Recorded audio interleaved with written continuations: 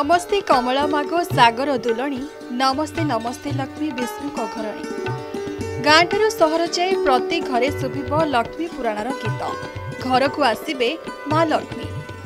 ଦିନ କେଇଟା ପରେ ଘରେ ଘରେ ପୂଜା ପାଇବେ ମା ପଦ୍ମାଳୟା। ସେଥିପାଇଁ ରାଜଧାନୀରେ ଜମିଲାଣି ବେପାର। ଧାନ ମେଣ୍ଟା ମାଣ ଫୁଲ ଆଖୁ ନଡ଼ିଆର ପସରା ମେଲିଛି। ଧାନ ମେଣ୍ଟା କେଉଁଠି ପଚାଶ ତ କେଉଁଠି ସତୁରି ଟଙ୍କାରେ ବିକ୍ରି ହେଉଛି। ମାଣ ବସାଇବା ପାଇଁ ଆବଶ୍ୟକ ନୂଆ ଧାନ ତଥା ଶୁକ୍ଳ ଧାନ ଗଉଣୀ ପ୍ରତି ଶହେ ଟଙ୍କାରେ ବିକ୍ରି ହେଉଛି। ସେହିପରି ଆବଶ୍ୟକ ନୂଆ ଧାନ ନୂଆ ଚାଉଳ ବିରି କଣ୍ଟେଇ କୋଳି ଡାଳ ଦୁବ ବରକୋଳି ପତ୍ର କଦଳୀ ପତ୍ର ମଧ୍ୟ କିଣିବାକୁ ପଡ଼ିଛି। କଂକ୍ରିଟ ଜଙ୍ଗଲରେ ପରିଣତ ରାଜଧାନୀରେ ଏସବୁ ଯେମିତି ଅମୂଲମୂଲ ହୋଇଯାଇଛି। ମାଙ୍କ ପୂଜାରେ କୌଣସି ପ୍ରକାର ସାଲିସ ନ କରି ପୂଜା ସାମଗ୍ରୀ କିଣିବାକୁ ଭିଡ଼ ଜମାଇଲେଣି ରାଜଧାନୀବାସୀ।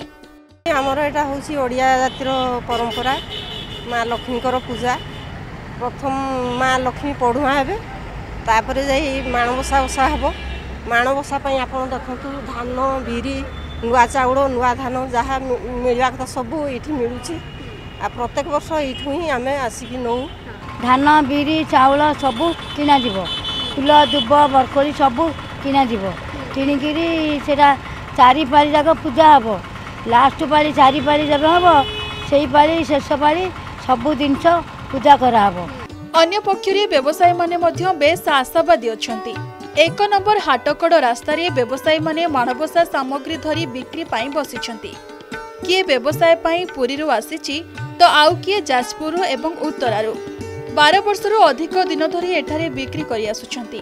କରୋନା ପାଇଁ ଗତ ବର୍ଷ ବେପାର ମାନ୍ଦା ଥିବା ବେଳେ ଚଳିତ ବର୍ଷ ବେପାର ଆଶା ମୁତାବକ ହେବ ବୋଲି ଆଶା କରିଛନ୍ତି ବେପାରୀ। ଧାନ ଚାଉଳ ବିରି ମୁଗ ଆଖୁ ଆମ୍ବଡାଳ ଦୁବ ବରକୋଳି ପତ୍ର ମୂଳା ଶାଗ ସବୁ। ଏ ବର୍ଷ ଭଲ ବେପାର ହେଇଛି ଲାଭ ହେବାର ଆଶା ଅଛି। ମାଣବସା ଆସିଲେ ଓଡ଼ିଆ ଘରେ ପ୍ରବଳ ଉତ୍ସାହ।